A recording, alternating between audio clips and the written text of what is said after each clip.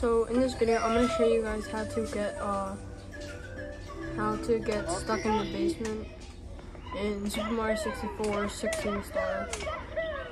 So do it as if you were doing any 16 star run.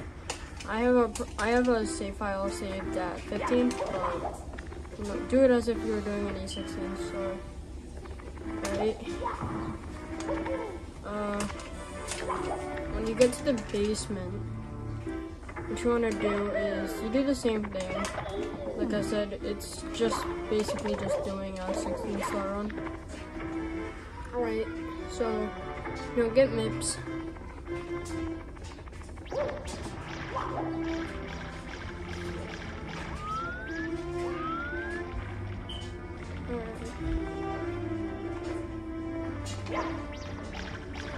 This little?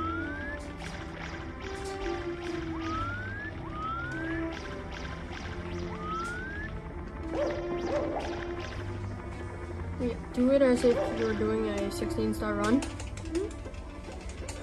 Right, uh, catch him, and like a 16 star run, you don't collect the star. You know? It's like as if, yeah, it's basically like doing a 16 star run, but uh, you do something different right. So get MIPS through.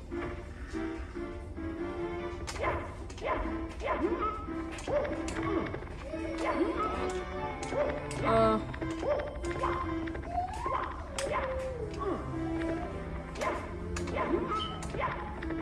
so get MIPS, and instead of clipping through 30 star, instead of clipping through 30 star door, and get that one in Jolly Roger, not Jolly Roger, yeah, instead of clipping through 30 star and uh, doing that, oh, hold up.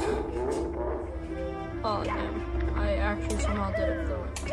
Alright. Oh, uh, I'm just gonna really quickly reset. I'll cut back. Alright, I'm back here. Uh, I'm back. Like I said, you do it as if you were doing a...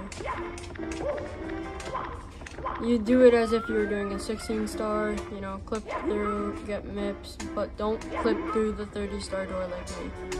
Okay. But instead, what you do is, uh, instead, you can,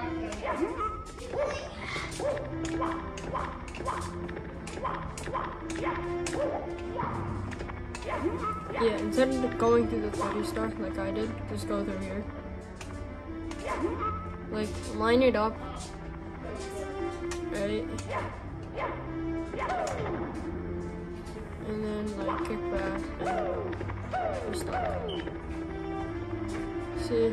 Uh, like this. And then here, you just do a BLJ. You could do a BLJ to get back through. Uh,